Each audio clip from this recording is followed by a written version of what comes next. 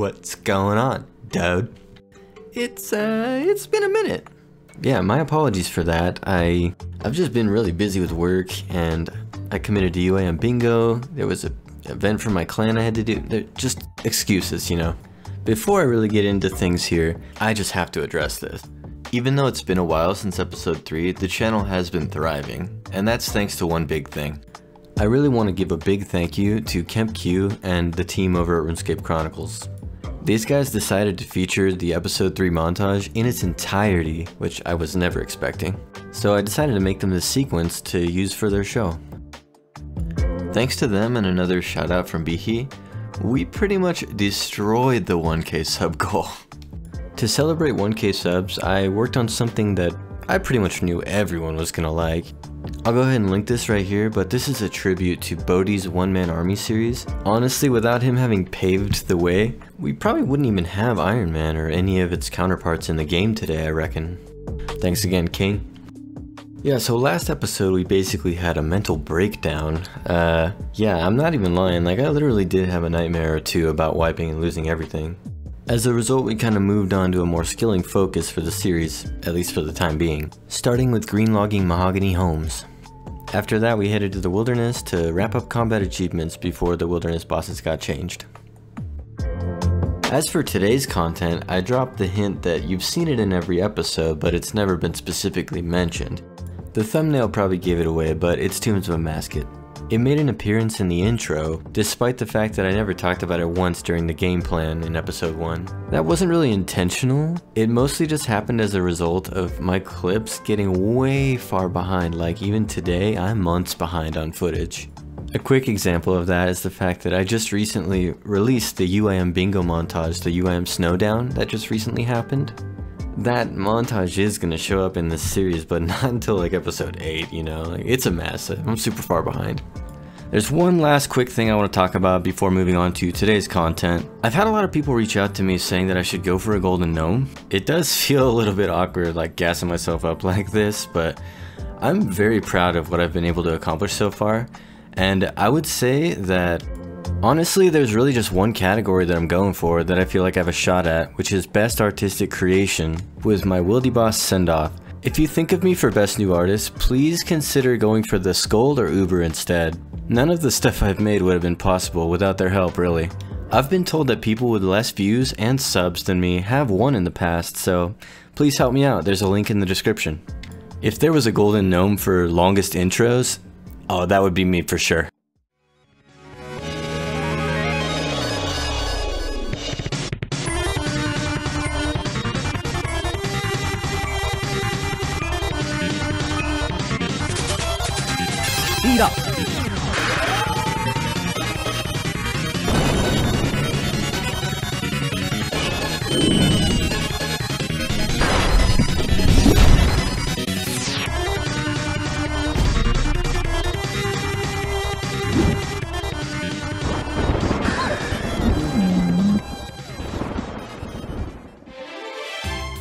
Just like everybody else, I was waiting for TOA to release, so I did Myth Cape Racks in Prif while I was waiting.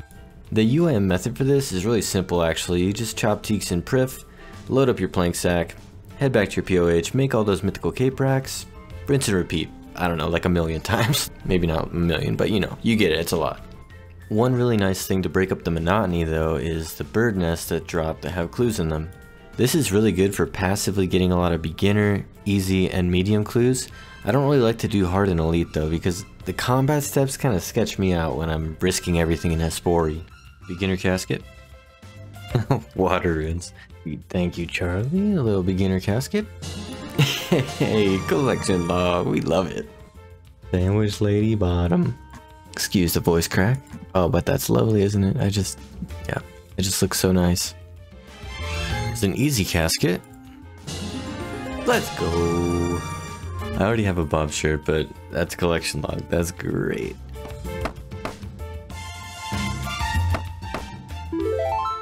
Oh goodness, that's the first construction level of the grind. Oh, I gotta take a minute to just take that in because I know it's probably gonna be a week or so before the next one. Oh snap, 2250. I just I just realized that Let's go. That's the last total level milestone. Wow.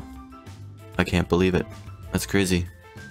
Isn't it kind of funny that this step, you have to like answer a question for the medium clue, but for the elite clue, he just gives it to you right away with no. Anybody else notice that? Yoink. Oh, crystal shards. Don't mind if I do. Yeah, here we go. Medium casket. Hmm. Yeah, no.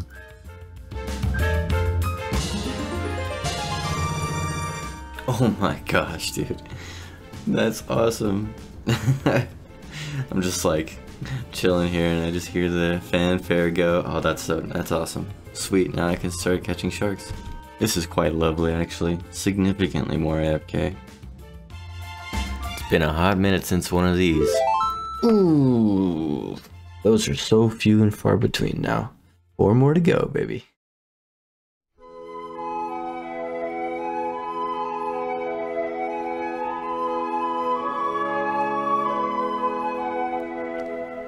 Hello, Lion. Jesus, give me a heart attack, dude. I come bearing an urgent message from Maisa. Maisa, what? Oh, wait a minute, aren't you Dune Lord? What are you doing out of the desert, dude? But better yet, how'd you get to Prifddinas? Actually, I have no idea how I got here. But anyways, Amascut's power has grown too strong. Your assistance is required in the desert. Say less, bro. I am losing my mind here anyways.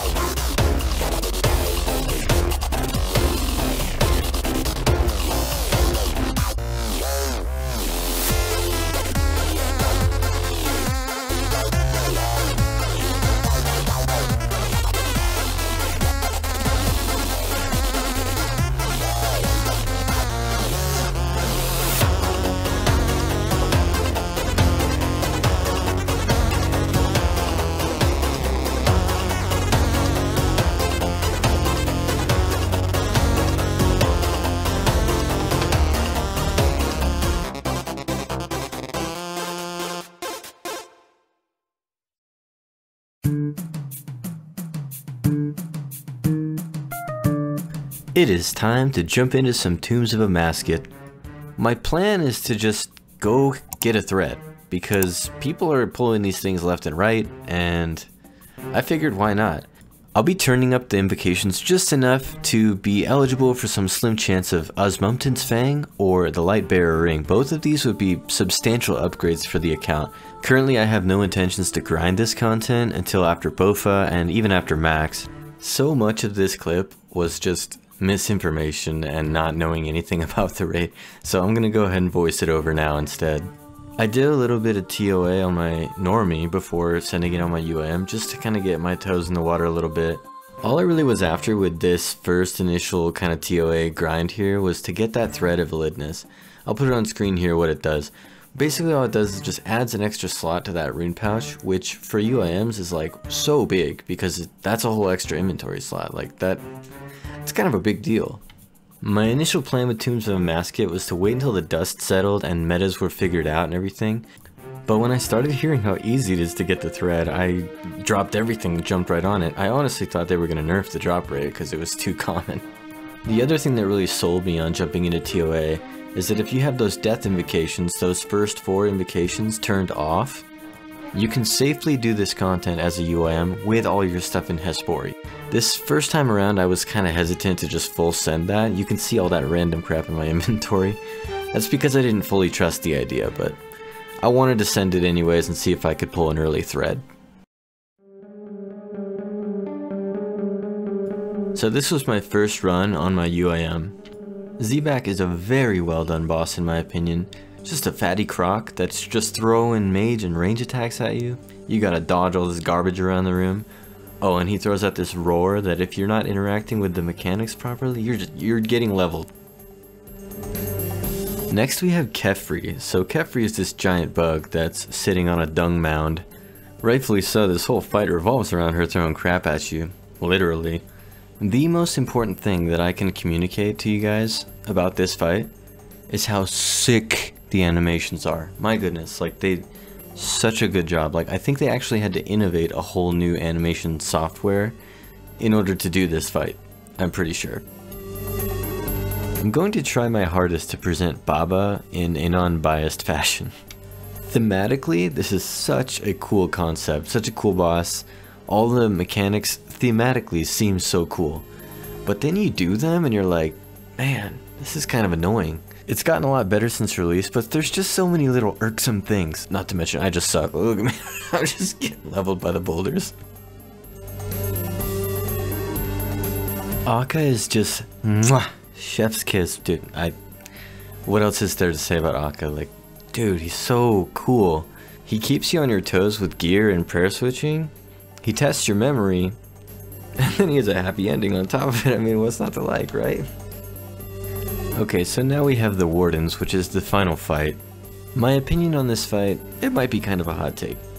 I was extremely underwhelmed by these bosses, um, and that's not just because I was on low invocation. When you look at the complexity of Olm and Verzik, this just, man, this just doesn't hit that, that difficulty level. When I heard about some twin giants when they pitched that, man, I was really thinking you're fighting both at the same time. I'm not going to go too far into the weeds on this concept, but if anyone's familiar with World of Warcraft, there's a desert raid in that game that has a twin Emperor's boss, and you fight them both at the same time. They heal each other if they get too close to each other. There's just so many intricate mechanics dealing with these two bosses together. And yeah, it just didn't scratch the itch here. When I heard it, I really thought it could have been a lot more than it was. Alright, fine, I'll get off my soapbox now, jeez. Despite the fact you don't fight them at the same time, they do a good job of adding other things to the fight, like the obelisk in Phase 2, and the phantoms showing up in Phase 3. I, I do like that. And it does get kind of crazy with higher invocations during this lightning phase, so yeah, I mean, hats off to them for that stuff. I just wish the other warden could be in there somewhere doing something, you know?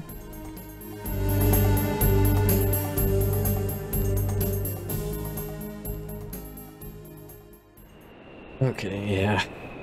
I'm getting a lot smoother at it. I think I still have like a ton of brews. Yeah, I still have so many supplies.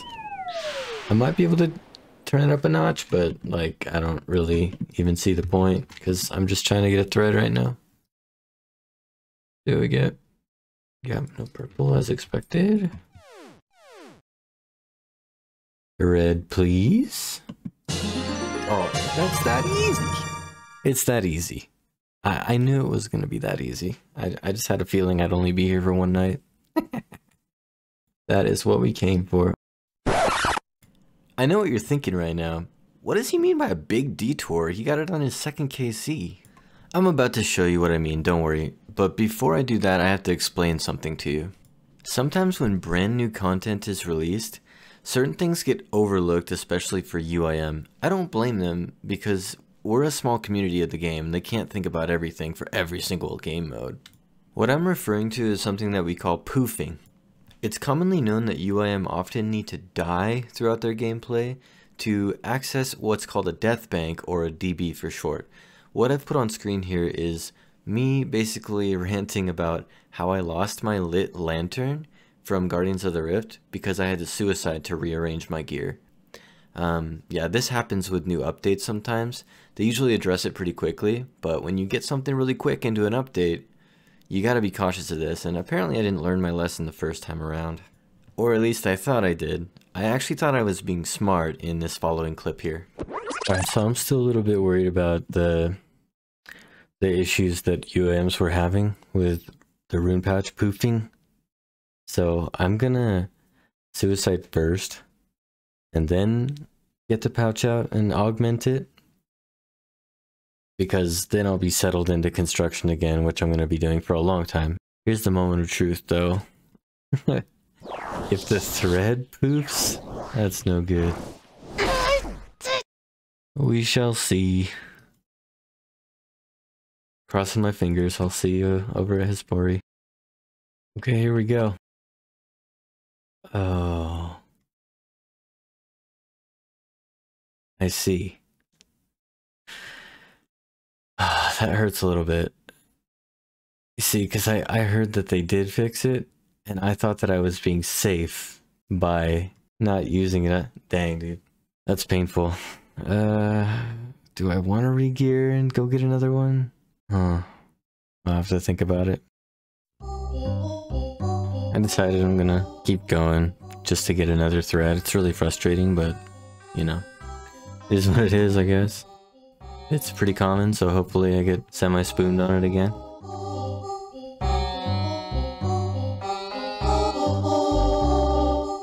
Pretty easy.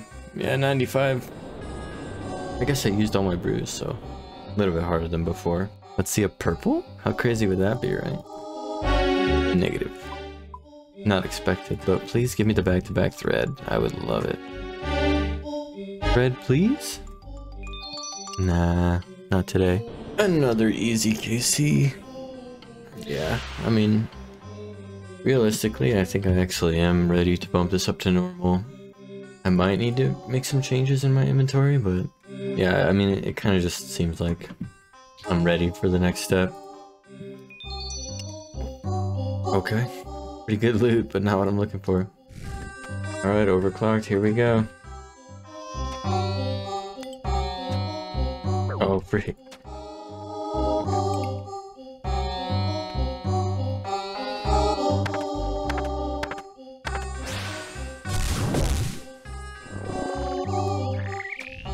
Okay, here we go.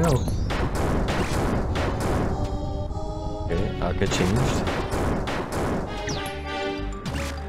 Yeah, just gotta keep that low 5 DP. Oh, this... I don't want to talk too soon, but this seems kind of free, actually. Okay, I guess hitting hard. OP Ambrosia. Oh, that's so OP. I'm already in full health again. Oh, Akkha. It is a lot to pay attention to, to be fair. Akkha changed. I got it preemptively this time. Oh my days. Do I have more Ambrosia? I do. Ambrosia go? Okay, I have barely enough. This is kind of woohoo, my first normal. Let's go. Happy with that. Now I could actually get a purple. Nah, not lucky though. Let's see the thread, please. What is that loot, dude? That's terrible loot. Holy crap. Most of the time I just soloed this, but when my buddy Matt wanted to duo, I'd send one with him. Very clean. Oh, that was so clean. Purple shot. Alright, baby.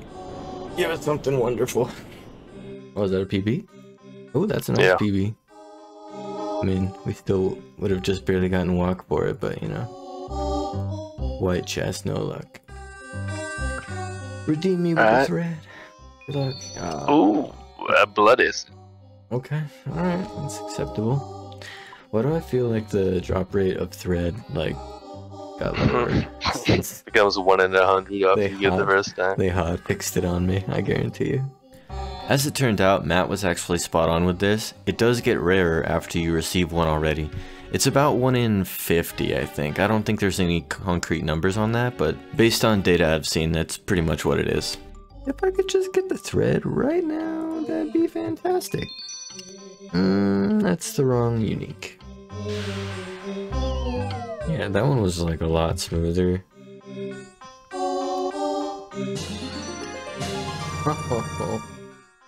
That's not the fourth item I want to see. Alright, so hear me out here. My only intention at TOA right now is just to get the thread and move on. I really can't be hanging on to every little thing I get, especially untradables, because you can't even bag those. If there was any way for me to know beforehand how much of a grind this would be, I would have kept that 100%, but it just made sense to alch it at this point. Man, I'll admit, I was getting pretty frustrated because I was just here for the thread. So I made a decision to improve my chances at a purple by pushing the invocations as high as I could go. Since I was using a blowpipe for my primary weapon on Wardens, I really noticed that 200 is the max that you really want to go because it's just so inconsistent beyond that point. Bro, blowpipe is not doing it anymore.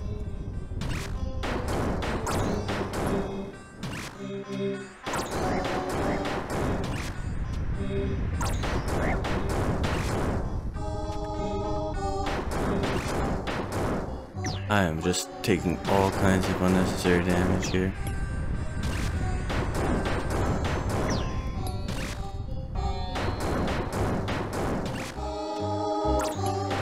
Blowpipe, come on. Clutch it out, dude. Stay on the front row.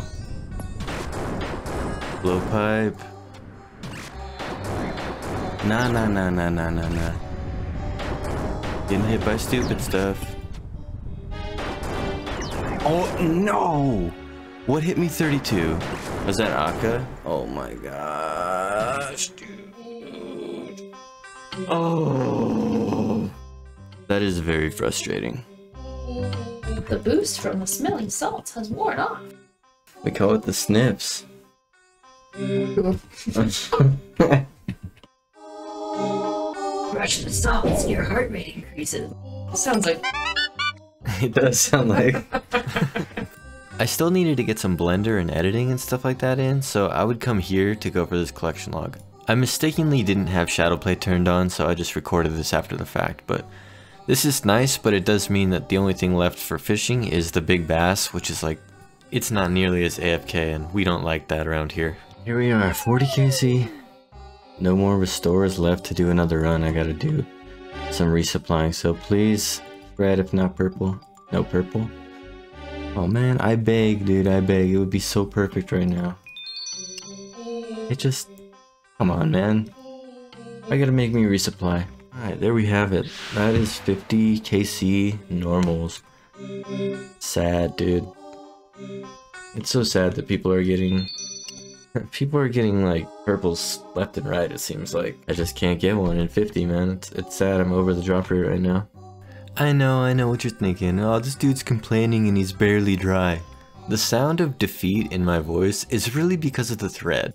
At this point, I kinda had enough, honestly. I was just ready to finish this. And after talking to some friends about what I should do, they recommended going back to entry for the thread because it seemed like at that point it was more common from entry modes. Then there was also the perk that if it was a purple, it was more likely to be the Fang, which I cared the most about. Hope that makes sense. Okay, there's the 15th entry.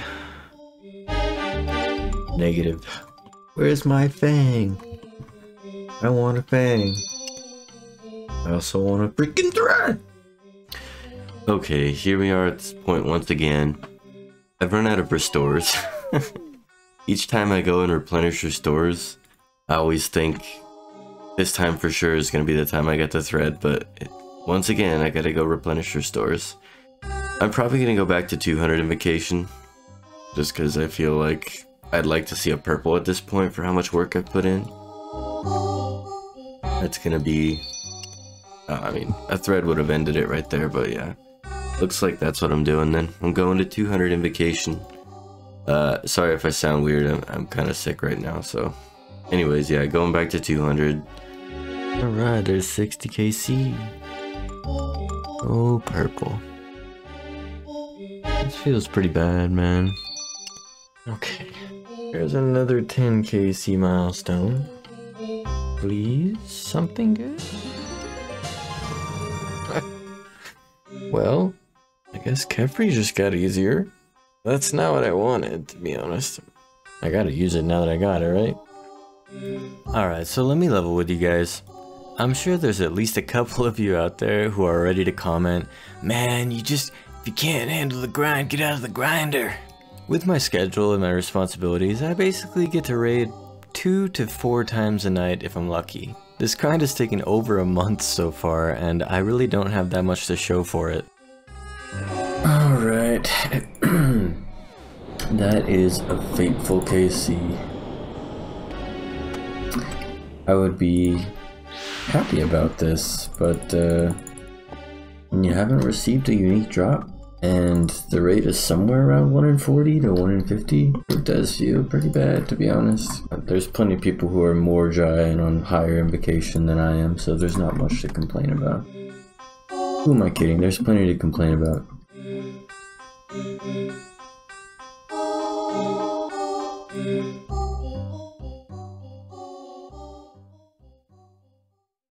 Admittedly, that's a little bit of a sad note to end an episode on, but really, I've been doing TOA for weeks, months? I really kind of just screwed myself over with that whole thread situation. On a more positive note though, TOA is infinitely more fun than the construction grind that I was doing. And yeah, as I stated previously, I am determined to get a purple now. I've put in too much work to not see a purple. Before I wrap this up, I need to give a big thank you to Exerkeen for collaborating with me on my montage for this episode. He has an amazing Desert Locked Ultimate series. You guys gotta go check it out. I actually featured him before in like the clan hall scene with all the, you know, all-stars of UIM. You're a beast, bro. Thanks for working with me. As for next episode, you guessed it, I'm way too stubborn to give up now. We're getting that thread, and I'm getting a purple, for crying out loud. Not to mention I'm making two montages for next episode. If you watched this far, hit me up with a like and a sub if you're not. And if you can't get enough of my content, please consider voting for me for the Golden Gnome. I'd really appreciate your vote. Catch you on the flip side, Dead.